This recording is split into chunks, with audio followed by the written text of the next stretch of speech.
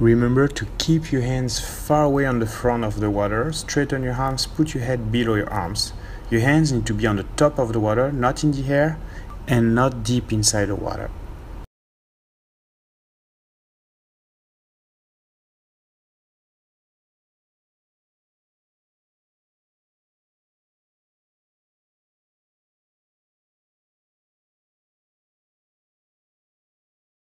Remember to keep your hands far away on the front of the water, straighten your arms, put your head below your arms. Your hands need to be on the top of the water, not in the air, and not deep inside the water.